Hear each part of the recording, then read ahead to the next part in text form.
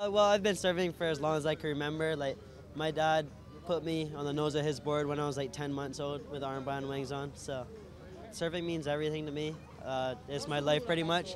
It's my job. Uh, well, you can't really describe surfing, the feeling.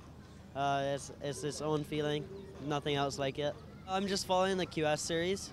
So, luckily, there's a QS here in Martinique uh, that's like right next to Barbados, 20 minute flight, so it was easy for me, and the waves are good here. So, well, at a QS 3000, everyone uh, is like the same level. Everyone is just as good as each other, so every heat is gonna be just as hard.